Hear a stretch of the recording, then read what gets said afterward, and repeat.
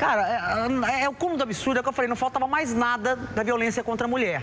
Que é você usar né, ali um, um animalzinho que é muito amado pela vítima para poder destruir totalmente o psicológico ainda mais e machucar o animal, que são dois tipos de crimes gravíssimos. Como é que você deu a prisão dele aqui em Goiás, Major? Silvia, de fato é algo terrível, horrível.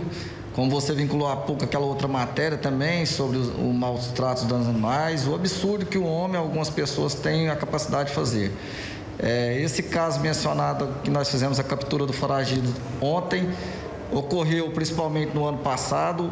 O foragido da justiça tem outras passagens e ele, além de ameaçar a própria ex-companheira, utilizou-se deste animal através de maus tratos, a tortura, para dissuadi-la ao retorno.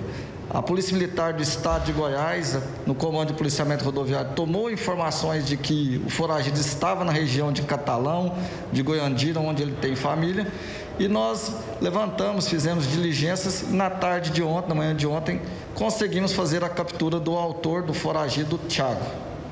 O Major, deixa eu tentar. O animal, como é que ele tá? Vocês conseguiram reaver o animal? O Diguinho, que é o nome do cachorro, do animal, ele foi entregue para a vítima, Lidiane, no ano passado. Entendi. Em novembro.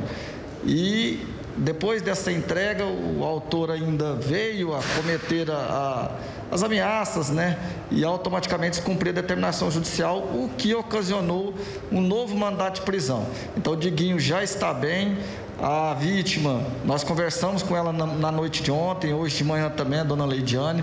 Ela ficou muito satisfeita porque, infelizmente, não somente ela, como toda a família, estava numa situação delicada.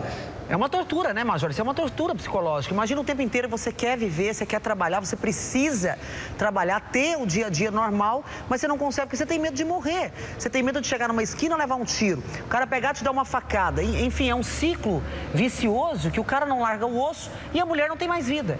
Justamente. Infelizmente, alguns homens não entendem isso, como você bem colocou, mas a Polícia Militar do Estado de Goiás está aí para cumprir sua missão, sempre servir e proteger as pessoas de bem, em especial as mulheres.